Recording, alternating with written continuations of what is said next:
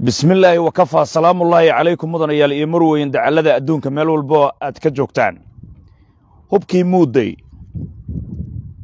Mudane cabdiraxmaan cabdishakuur warsame waxa uu ku guulaystay inuu noqdo xildhibaan ka tirsan baarlamanka koob iyo tobnaad ee federaalka soomaaliyeed. Su'aalo badan baa ka dhalanaya sababta cabdiraxmaan cabdishakuur ugu guulaystay. Warbaahinta southern media corporation hore waxay u sheegtay in cabdiraxmaan cabdishakuur warsame kursigiisu haweeney loo xirayo sida qorshaha nabad iyo nolol uu yahay. Laakiin qolyaha muruge iyo macluul maadaama ay ballaanno badan yihiin ballaannadoodu balaan e balaan b balaan c ilaa iyo balaan sad uu yahay waxay go'aan ku gaareen in mucaaradka ay ku jajabiyaan cabdiraxmaan cabdishakuur warsame. Marka ugu horraysa waxay ku guulaysteen qolyahan muruge iyo macluul in cabdiraxmaan oo sheeganayey madaxtinimo soomaaliya inuu u tartamayo hankiisu inay dhulka geliyaan. Uu doonto xildhibaan oo qudha taasi waa jab siyaasadeed guul weyna u ah qolyaha nabad iyo nolol la baxay. Horey waxaan idinkugu sheegnay nabad iyo nolol qolyaha la baxay in ay yihiin maafiya aqoon leh halka damujidiid ay yihiin isbaaraystayaal jaahileen ah. Haddaba haddii mar xildhibaannimo uu doontay madaxtinimadii uu ku cidhiirin lahaa maxamed cabdilaahi farmaajo meesha ay ka baxday.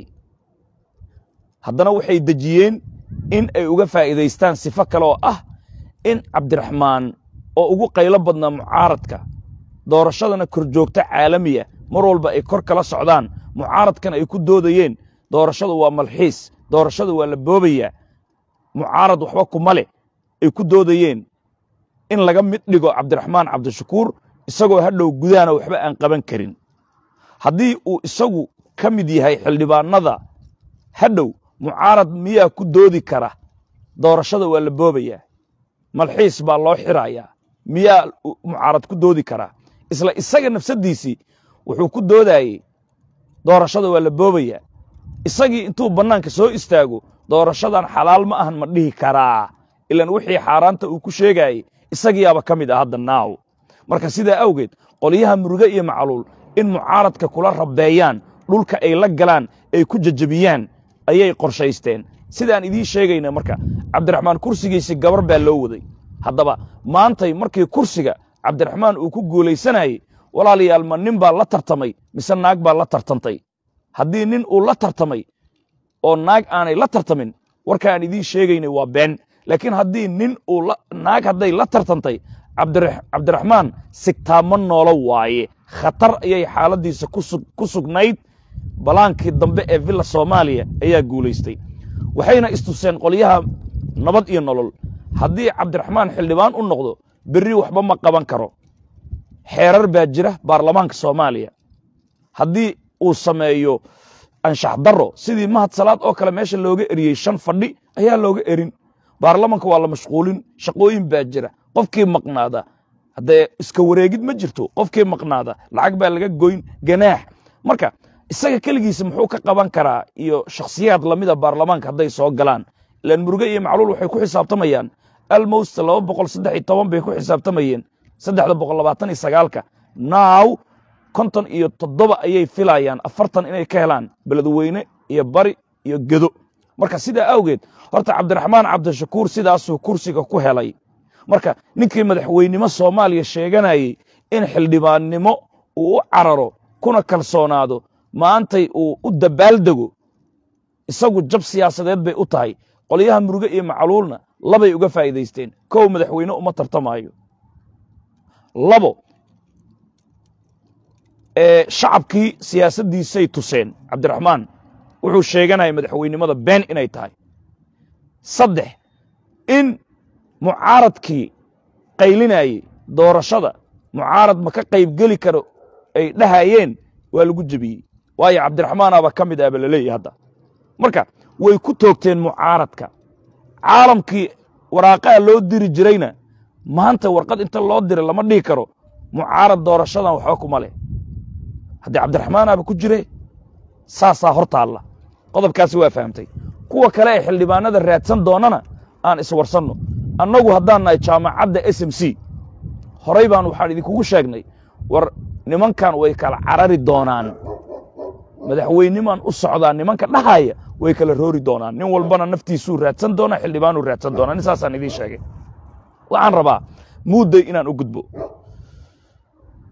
Guddoomiyaha baarlamaanka guddoomiye ku-xigeenka koowaad ee baarlamaanka soomaaliya master muudey oo loo yaqaana muudey mayongaale isla markaana ahaan jiray afhayeenkii hore ee maxaakiimta cunuggii shariif xasan shariif kariiris shalay toole eeraboorka inuu ciidamo kala dhoofuu diidey oo loo diiday.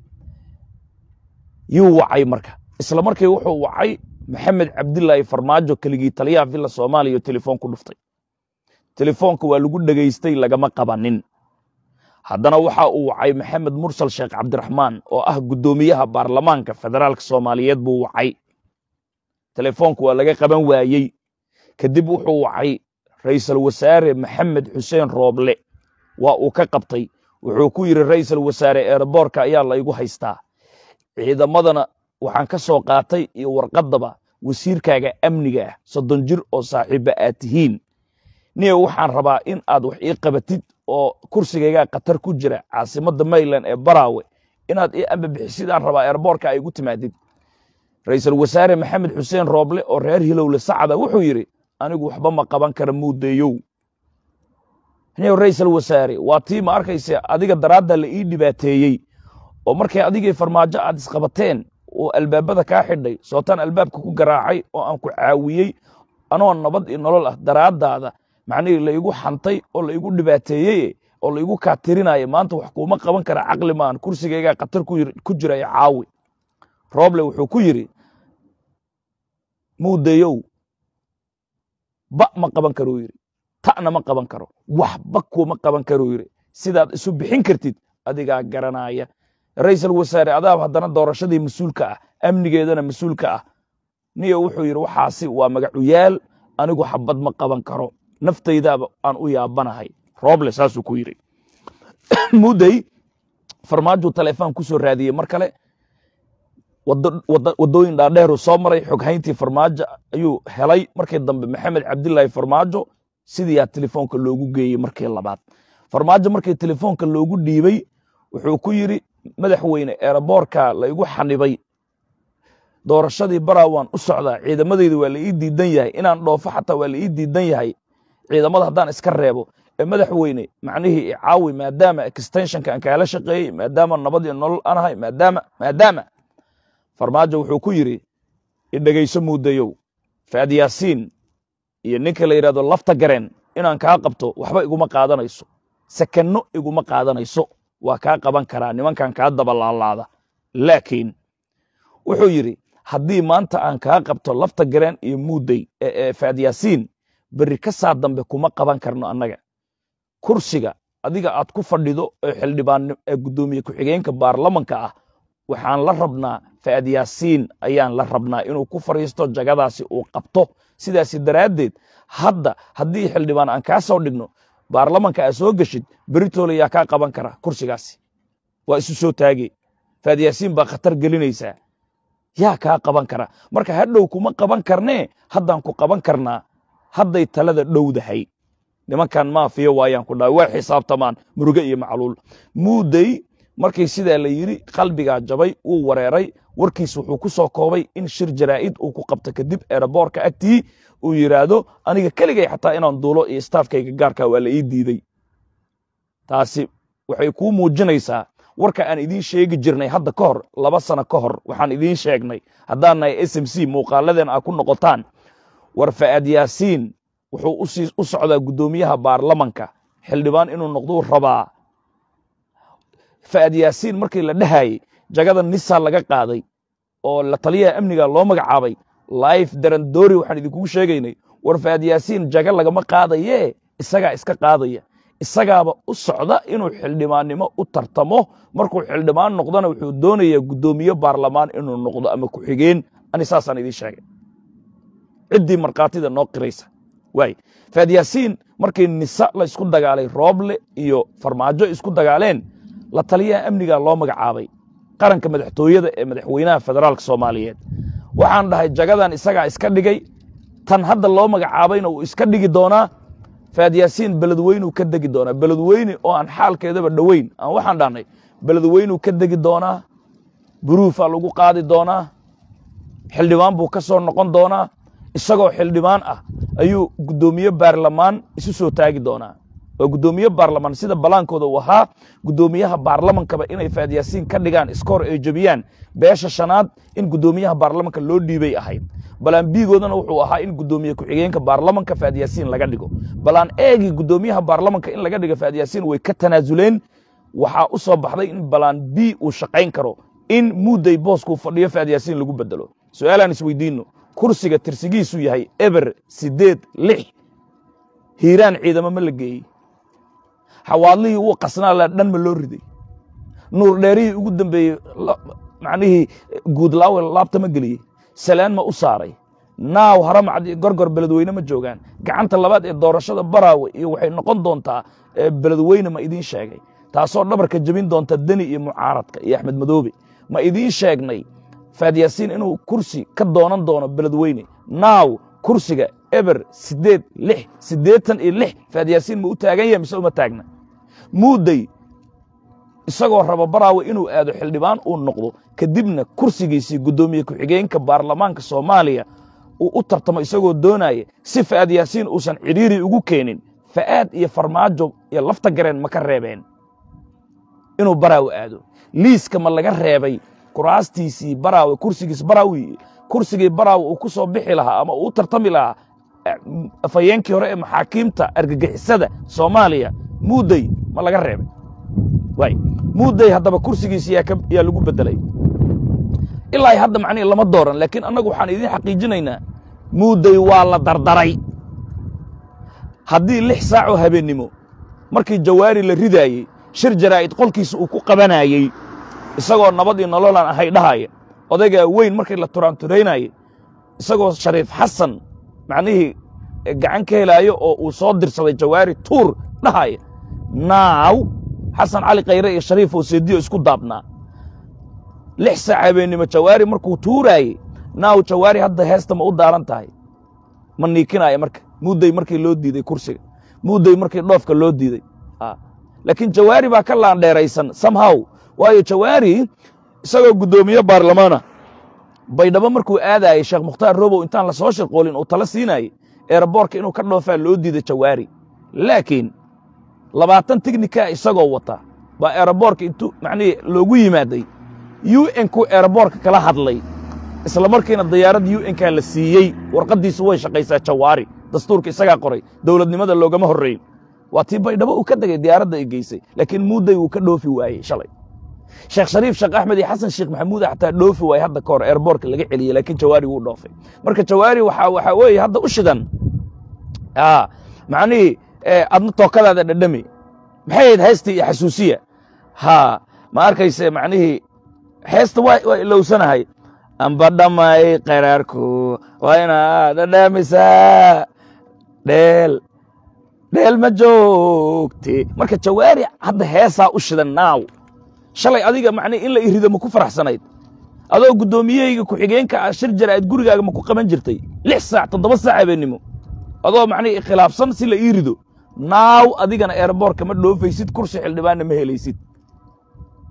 Horta muudday arrintiisa meeshay martay waxaana booskiisii lagu beddelayaa wiil macnihi kambaniye u shaqayn jiray lagu magacaabo maxamed weli ayaa lagu bedeli rabaa. Cabdiweli maano maxamed weli yaa lagu bedeli rabaa. Isku isku abana maanaya walaalo maahan laakiin waa isku qabiil. Marka nin walba intuu geystay ayaa loogu geeyaa. Baashaan waa siyaasad.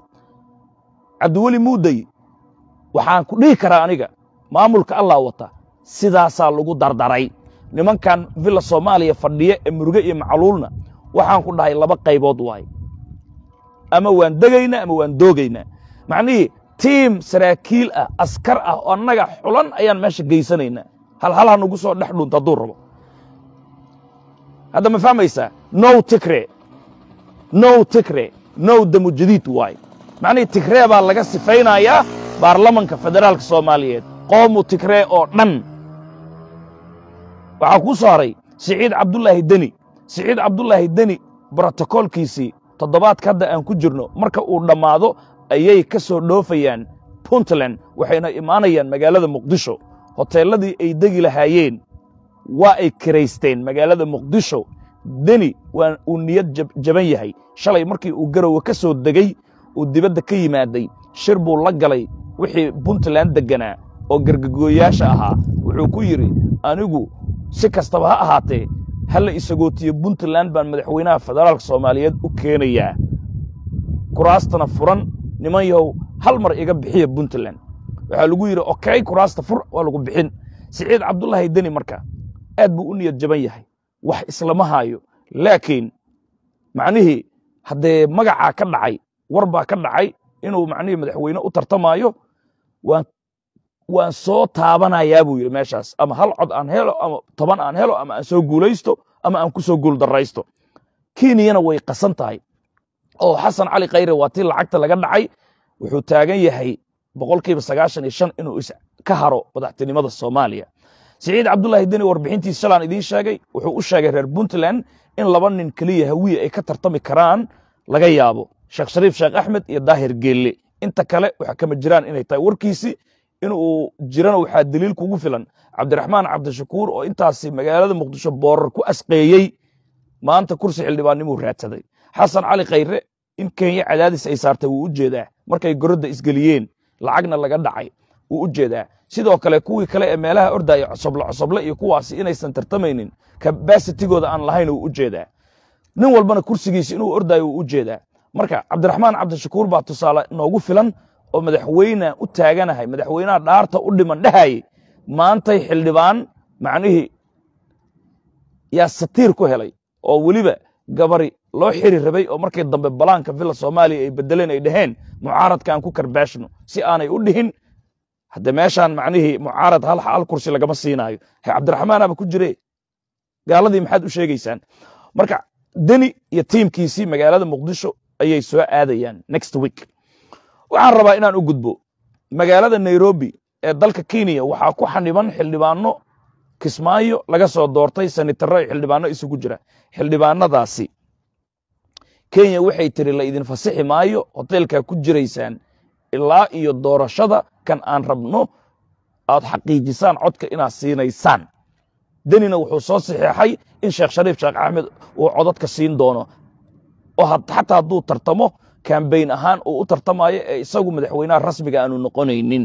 Haddii a ka baxdidaa lagu yidri lacagtaada kenya taalla iyo hantidaada waan la wareegayna haddaanan nahay sawaaxiliga saasay ku dheheen marka ra'iisul wasaarenimo inuu qaatay ka dhameeyeen xaqiiqadaan idiin sheegayna laakiin deni inuu farmaajo la tartamo doonaya wuxuu u sheegay nimanka hartiga ah walaalayaalow majeerteenow ninkan sede anaa meel iska saarahaye hawiyena waa addoomadaydii walaalayaalow waan idin baryayaa isagootiya iyo ambabixiya ninkan anaa meel iska saara saasuu ku soo tegey. Waxaa kuu sooray caliyare ninka lagu magacaabo caliyare oo habar gidir oo cayra guddoomiye ku-xigeenka amniga marna loo yaqaano cali jika ku jiray oo maxamed cabdilaahi farmaajo cuntada u karin jiray jikada ku jiray aan ognahay. Eeraboorka magaalada muqdisho isagoo ciidamo wata ayaa laga celiyey maanta. Yaa ka dambeeyey see loo celiyey caliyare waxa uu ka dhashay qolo la yidhahdo cayr reer ciyow dheere. Waxaan dhihi laha reer ciyow ama loo yaqaano koofiye dhuub ama baxar dhabe ayuu ka dhashay. Nin ay dhahaan mahad salaad oo isaguna reer weheliye dheere ah ayaa kursi la yidhaahdo boqol afartan iyo toddoba ay ku tartamayaan. Caliyare waa nabad iyo nolol ama nabar iyo naxdin. Mahad salaadna waxaa weeye waa damu jadiid waa gacanyarihii xasan sheekh maxamuud waaye curadkiisi kursigaasi hob boqol afartan iyo toddobo xataa cabdi nuuro siyaad unifag cabdiwaal baa ku tartamaya. Annagu waxaan idiin sheegi jirnay war heedhe jaamacadda s m c waxaad ka barateen war bahashan siliid cadday iyo siliid macsaray ku dhammaan doontaa. Laba sanaan soo bilownay casharkaasi. Siliid caddaydii iyo siliid macsarada waxay soo gurguurataba maanta dhabtay taagan tahay. Sidii dadkan ay isu hayn jireen ay isu ficli jireen ay isu xifaaltami jireen yufti'iilkii jiray bannaankuu soo baxay. Maadaama reer weheliye ay weligood ku matali jireen dowladnimada ayaan la cayr. Cidda matali jirtay reer weliye dheeray ahaayeen. Waa dad reer magaal ah waa dad soo taliyey waa dad ma arkayse xukun in badan soo haayey. Laakiin way ka yar yihiin qolyaha reer ciyow loo yaqaano. Reer ciyow baa tiro badan reer ciyow baa dagaalyahansan reer ciyow baa geesisan laakiin reer ciyow waa reer baadiye. Siyaasad wax kama oga. Iyagu waxay joogaan aaggaasi furimaha dagaalka. Waa nimankan mareexaanka islaayaan. Mar walba baabahda iska dhigaan. Weeye reer ciyow dheere waxaa loo yaqaanaa baxar dhabe ama koofiya dhuub xasan daahir yaa ka dhashay. Nimankan laakiin waxay ka soo bilaabeen ilbaxnimada ganacsi. Kow qaradameer bay ku iibin jireen guriceel iyo ma arkayse marka baabuurta ay gudbaayaan iyo dhulkaasi sidoo kale yiciib bay ka soo bilaabeen saxamo intay saaraan waxay ka soo bilaabeen gocosay ka soo bilaabeen gocoso gocoso.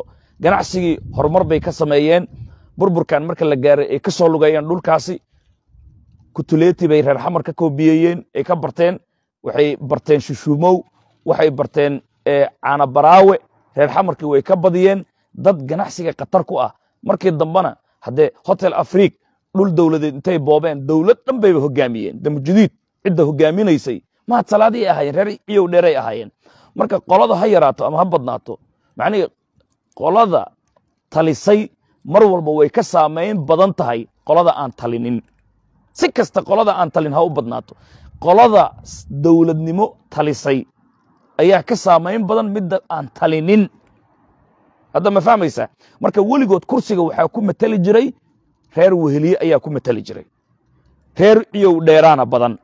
Reer ciyow dheere waxay u badan yihiin reer baadiye dagaalyahano ah geesiyiin ah oo xabadda macnihii aan ka leexanin weeye laakiin reer mahadsalaad iyo farsamo reer magaalnimo siyaasad iyo lacag waay. Xasan daahir waa reer baxar dhabo waa reer ciyow dheero waay.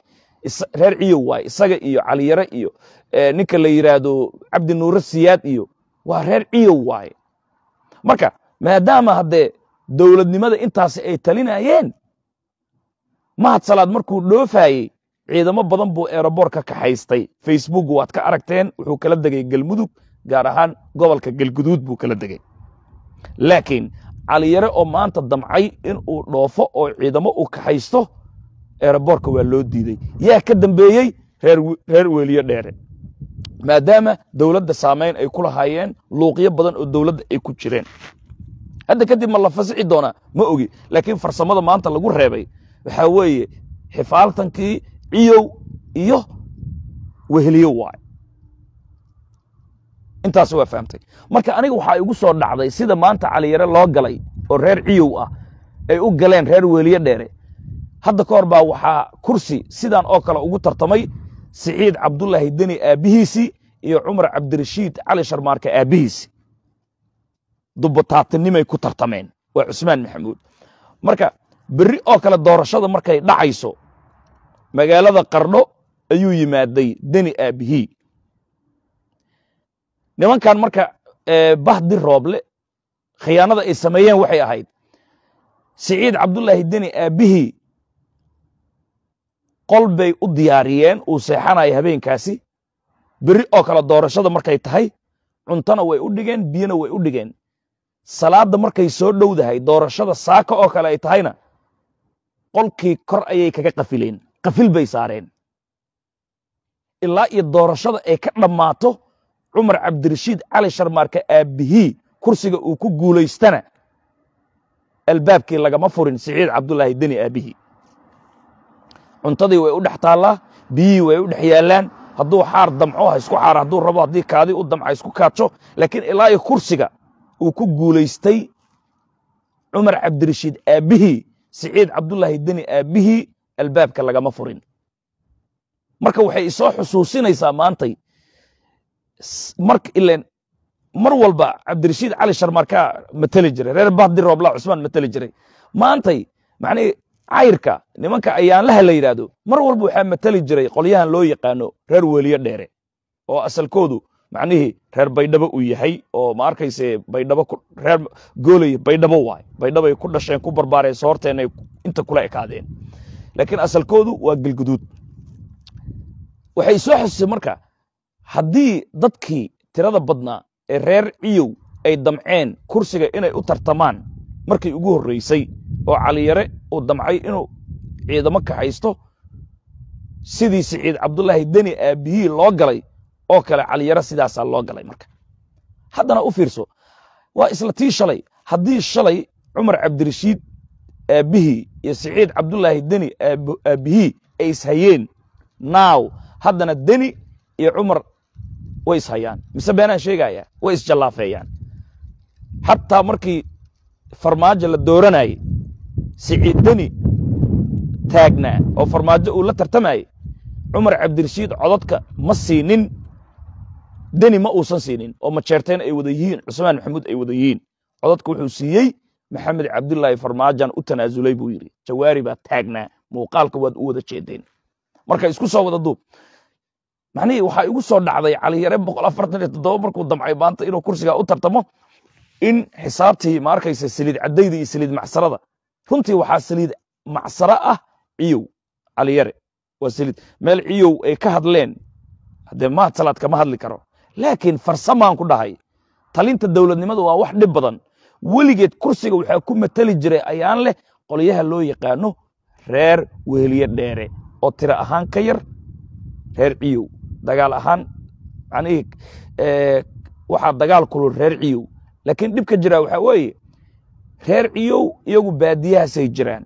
Siyaasad shaqo kuma leh. Waa dagaalyahano waa geesiyiin. Laakiin nimankan way talin jireen he dowladdiiay ku jireen weligood. Farsamo dhaqaale. Marka sidaa awgeed tiyaa igu soo dhacday marka. Walaalayaal siyaasadda meeshaasay maraysaa muudayna waxaa weeye dhulkay la tumeen farmaajo iyo ma arkaysa saaxiibadii denina xamar ay u soo socdaan brotocolkiisii hoteelada way karaysteen. Cali yarana sidaasaa loo reebay. Cabdiraxmaan cabdishakuurna sidaasaa kursiga loo siiyey. Jaamacadda s m c waxay hore idinkugu sheegtay ilaahay ma rumeeyey waxyaabo badan oo ka mid ah ma u joognaa maantay hadda. Waxaan sheegi jirnay cabdiraxmaan uma socdo madaxweynenimo kursi xildhibaannimo ayuu u socdaa. Ma aaday gabar baa loo xiri doonaa kursiga. Ma la tartantay gabadhii maanta? Markay balaanka ay bedeleen villa soomaaliya. Cabdiraxmaan mar dambe doorashada waa xaaraan ma dhihi karaa. Okay madaxweynimadii uu sheeganaya madaxweynima u tartamaa ma dhihi karaa. Haddaba kursiga ugu dambeeya dhanka baydhamana waxaa ka mid a kuraasta ugu dambaysa shariif xasan sheekh aadan kursigiisi. Haddii mudday sidaa loo cunay shariifka shaqaa loo diray. Haddii shaqadaasi intuu soo qabto oo haddana ma arkaysa macnihii uu bannaankaas iska taago kursiga guddoomiyaha baarlamanka inuu isu soo taagi doono la hubsado way siin doonaan xildhibaannimada shariif xasanna. Laakiin laakiin haddii macnihii ay u arkaan shaqaday ay u direenna haddii siday tahay usan u qaban una arkaan inuu khatar ku yahay guddoomiyenimada baarlamaanka kan nabad ay la rabto ma ku soo darayaan kabihiisay isku dari doonaan muuqaalkan muuqaalka xiga ka hor dardaarankan waxaa weeye camalkana ilaahay dartii u qaba maxaa yeelay midkaad u camal falaysaa daraaddii eebe uu arkaya. Sahaydana badso safarka waa uu dheer yahay. Xamuulkana iska yaree maxaa yeelay kaabadda la fuuli doona mid adag weeyaan. Walaalayaal dalka maleeshiya waxaa lagu dilay gabar u dhalatay soomaaliya. Gabadhaas iyada ah waxaa la yidhi maqaayad bay ka wada shaqaynayeen iyada iyo nin carab oo ciraaqi ah maqaayadda iyagoo ay ka wada shaqaynayaan ninka ciraaqiga ah middi intuu u soo qaatay ayuu halbowlaha uu ka geliyey uu daray. Sidii bay ku dhimatay. Gabadha cadaalad bay doonaysaa. Waxaa lagu magacaabaa dahabo waxaan rajaynaynaa ilaahay inuu cadaaladda macnihii xaqeeda inuu bannaanka soo saaro. Kolley iyadu way dhimatay aakhira cadaaladda way ka helay hubaal waay. Annagu waxaa nala gudboon in aan u ducayno. Kolley soomaalida inta badan marka qurbaha la joogo isma garab istaagto iyadaaba qabiil qabiil oo kala daadsan. Waan ka bixi doonnaa markaan si fiican isu baranno. Dahabo rabbi ha u naxariisto. Nin baa middi si xaqdaraa ku dilay oo ciraaqi ah iyagoo maqaayad ay ka wada shaqaynayaan. Marka aan iska naxno haddaan soomaali nahay labada qowmiyadood ee mayga iyo maxaaga ah ilaahay ha u naxariistana aan dhahno. Innagana ilaahay ha inoo naxariisto. Muuqaalkan muuqaalka xiga ka hor haddii nala kala qaato ballantannada waxaa weeye idama le jannatul firdowsa